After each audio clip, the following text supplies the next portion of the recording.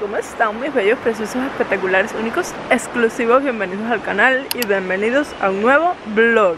Este es un día más de Clarita paseando por pueblitos de España En Cantabria, que es mi comunidad autónoma. Ahora les voy a mostrar un pueblito precioso en el cual estamos ahora mismo de paso Que está enclavado literalmente en la montaña. Aquí hay... Eh, alrededor de 100 habitantes, algo así, es súper, súper pequeñito, tienen incluso hasta su cementerio. Hoy es eh, primero de noviembre, Día de Todos los Muertos, y andamos nosotros de paseíto, mirando, disfrutando. Aquí a mi izquierda hay hasta unas, unos árboles de manzana. Por aquí si pueden escuchar el sonidito, hay un río. Bueno, no les doy más muela y les muestro. El pueblito, como pueden ver, mis amores, se llama Carmona y es así súper rural con este estilo de casas que ya ustedes conocen. Muy típicas de por acá por Cantabria más que nada en este tipo de pueblos. Y parece que aquí todavía no ha llegado el otoño porque miren qué preciosa esas flores son rosas como si fuera primavera. Aunque no sé si las rosas son de frío no estoy segura creo que no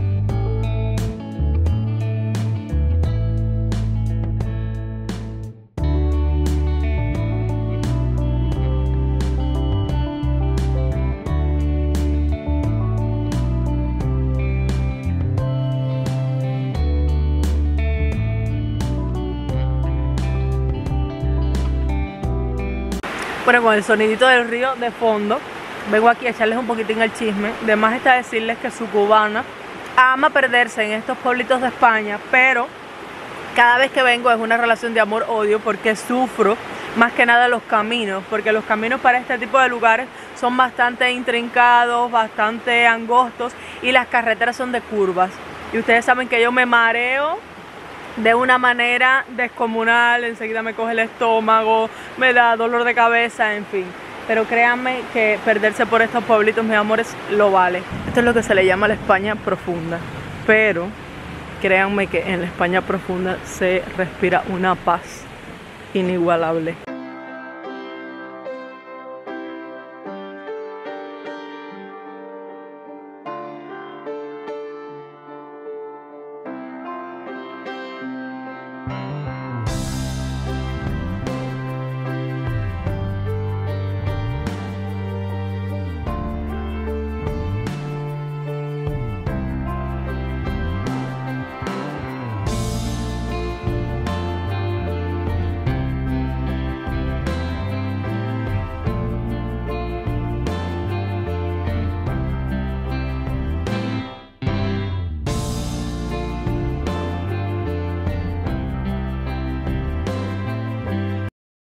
Bueno, Morciros, la parada final, o sea, el objetivo del paseo era venir a este pueblo en el cual estamos ahora mismo, que se llama Carabandal, que es un pueblo conocido internacionalmente porque aquí se, se hizo presente, por decirlo de cierta manera, la Virgen María. Se le apareció en los años 60, durante cuatro años, a cuatro niñas de aquí del pueblo.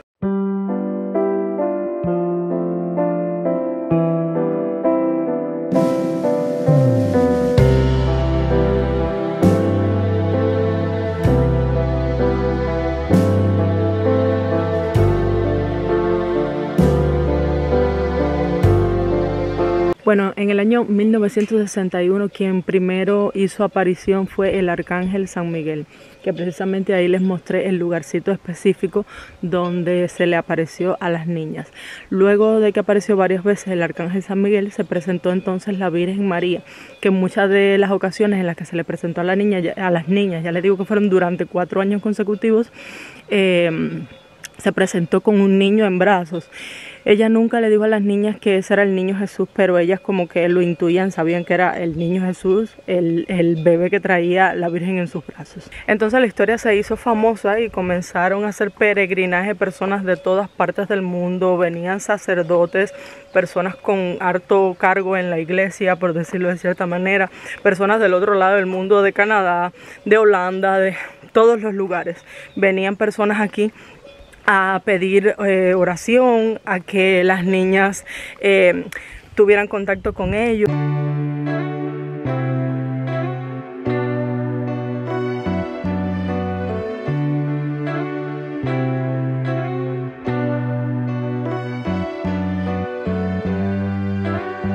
Bueno, y venimos de allá que les mostré que por aquella esquina estaba el lugar donde desapareció por primera vez el eh, Arcángel Miguel y luego venimos por este caminito y aquí está el lugar específico donde se les apareció por primera vez la Virgen a las niñas. Fue día 2 de julio de 1961 y cayó domingo.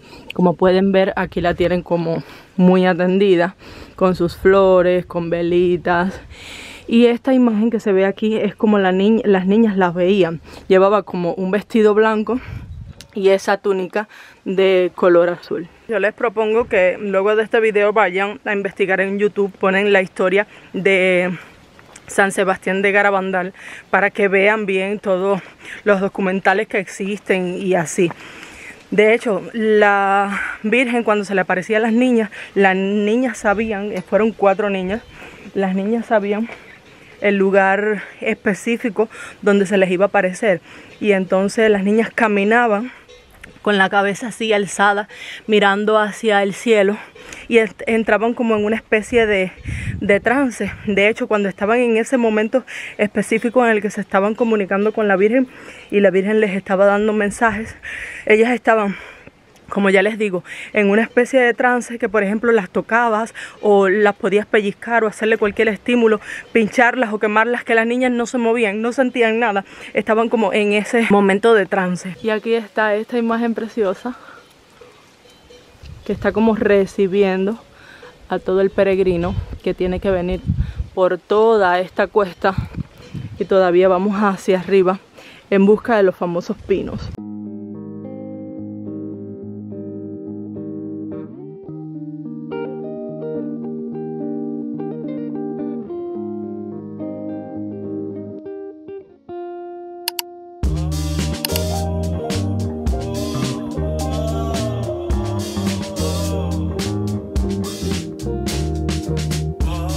Carabandal es un pueblo bastante pequeño también, enclavado en la montaña y es un pueblo que encierra un misticismo extraordinario. Ya les digo, es conocido internacionalmente por estos eventos tan especiales que sucedieron aquí.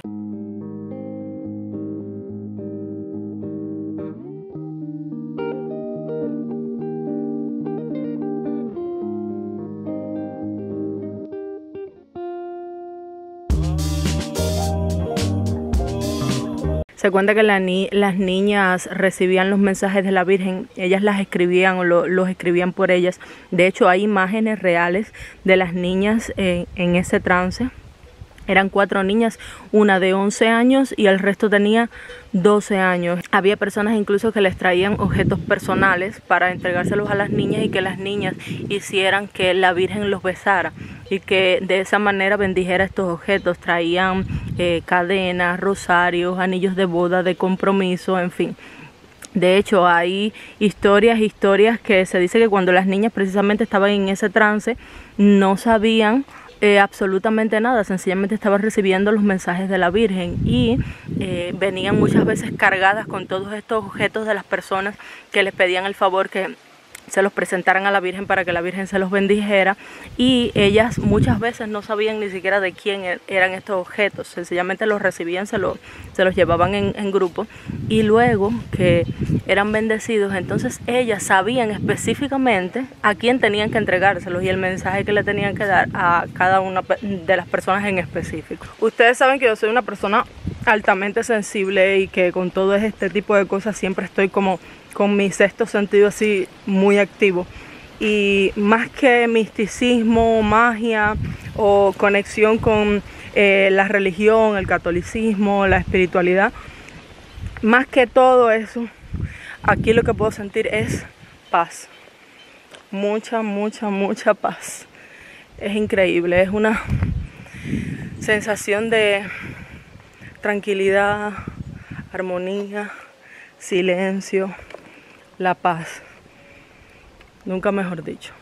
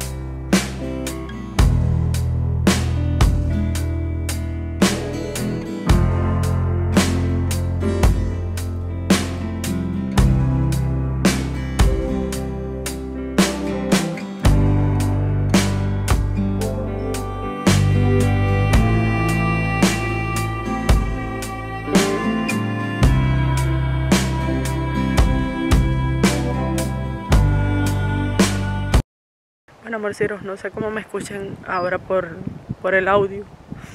Y he tenido mi momento de introspección y de hablar con la Virgen.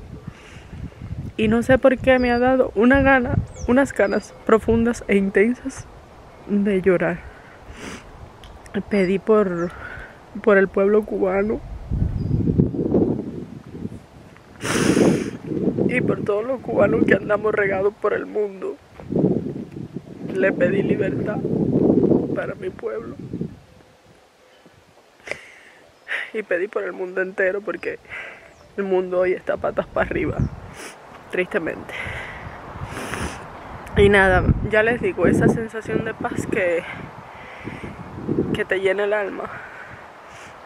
Y estas lágrimas son de, de eso, de paz, de tranquilidad, de comunión con el Espíritu.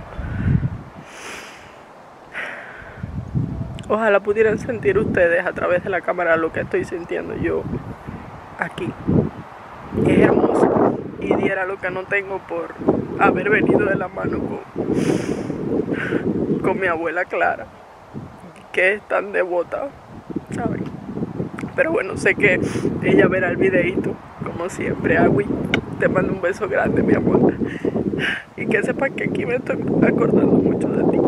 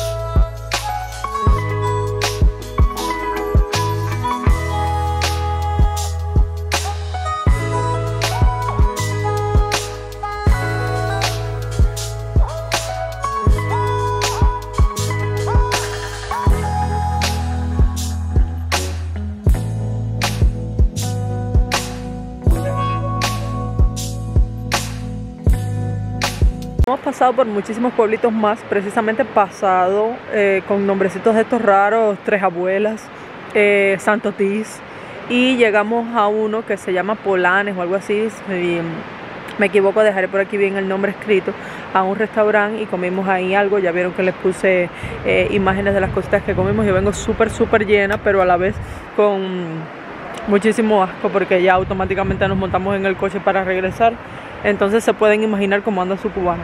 Ahora estamos en una presa que hace un rato cuando veníamos eh, les tomé algunas imágenes, pero bueno, ahora nos detuvimos un momentico para mirarla más detenidamente y se los voy a compartir.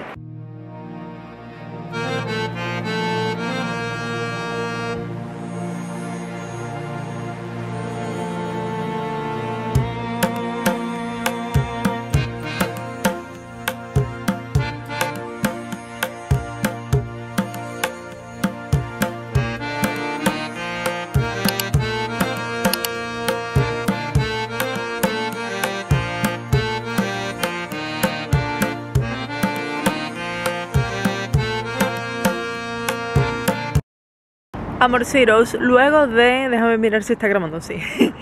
Porque como llevo las gafas no veo bien, ustedes saben que yo soy media cegata. Luego de 190 años en la carretera, mucho mareo, asco y náuseas, ya estamos aquí en las inmediaciones de San Vicente de la Barquera y eh, Unquera. Estamos ya un poco más cerca de, la casa, pero vamos a llegar primero a Oreña, que es el pueblo de Maite, a recoger el coche y de ahí entonces nos vamos para Puente San Miguel, el pueblo de nosotros. Pero pasamos por aquí a tomar algo, un cafecito o algo así, y a comer unos dulcecitos, mi amor. Siempre que todo sea regalado y, gratis, usted diga que sí. Y lo que te den, cógelo. Y en eso estamos. Entonces, nada, cuando yo eh, regrese a, ya a casa, lo que voy a darme un buen baño. Ya hoy por la noche no se come, mi amor, no se cocina. Voy a darme un buen baño y voy directo para la cama porque tengo un sueño que no te puedo explicar.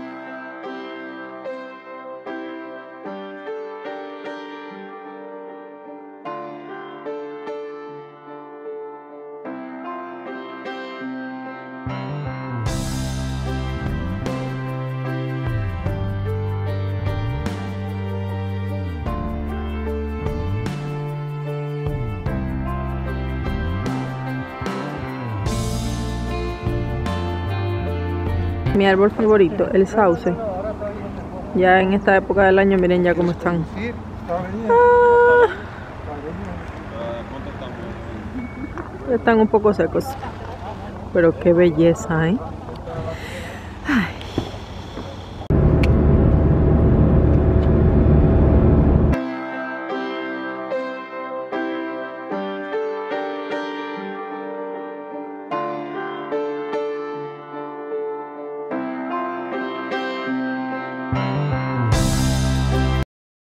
Por fin en casa. Aprovecho para enseñarles el outfit antes de cambiarme porque ya voy a darme un baño para no perder las buenas costumbres. Miren, hoy llevaba el chalequito este que es de una tiendita de Torre la Vega. El short este es de Sara de cuando llegué, que tengo otro negro también. La chaqueta es de Humana y los mules estos de cuadritos son de Primark.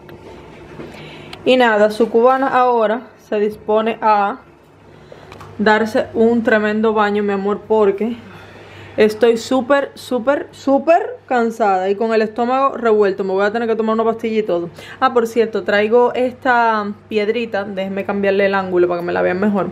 Esta piedrita también es eh, de, de cuando viví en Madrid. Es piedra de Avalon. Es una belleza, mis amores. Y nada, quise combinármela hoy. Nada, los dejo. Voy a darme un baño